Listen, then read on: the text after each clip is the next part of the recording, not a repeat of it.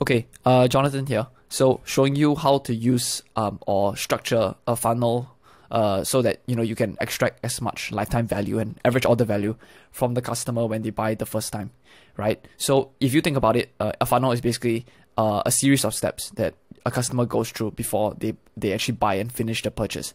Okay, so this app is called ReConvert. We use it on Shopify stores. It's very very easy to use. And in the past, um, like the upsell sequence was very very clunky and not very good at all for Shopify side. That's why a lot of people uh, use ClickFunnels for their funnel software and stuff like that. To be fair, Shopify is very difficult to customize as well. So uh, it still doesn't have that sort of customization where every single landing page you still can optimize to the max. But it's still a good solution nonetheless. Okay, so for example, this upsell sequence right here is a very very simple. Uh, if someone buys an order, for example, right, the the trigger is basically the order is completed, right?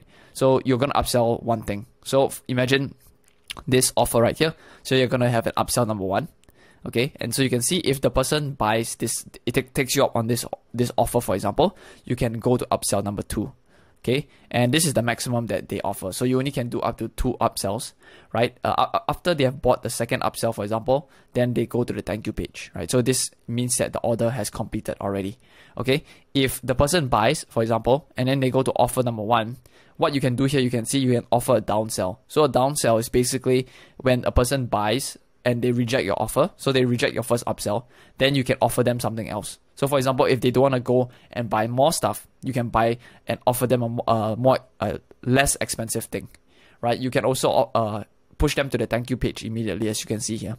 You can see this one as well.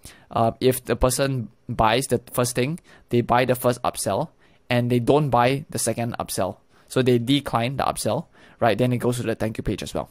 Okay, yep. So you, it's it's very very easy now within Shopify per se. Uh, because of this update, right? And you can check out ReConvert down below as well. Yeah, but basically this is a very standard upsell structure, right? It's like, yeah, the guy buys one thing, you offer them one thing, and then you offer them upsell number two, and then afterwards it's a thank you page and it's finished. Okay, so this is a structure, uh, general structure of how you would generally do it, and I uh, hope this helps. Right, this can really increase your average order value uh, over time as well. So that will be really useful for you and yeah, this is basically this is for the post purchase sequence and stuff. You don't have to um, how do I say this complicate the issue because most of the time, uh, when people buy one thing, they generally like that thing already. So most of the time, you upsell number one, right? You're probably going to uh, sell the same thing to the same customer. Generally, the take up rate for that is the highest.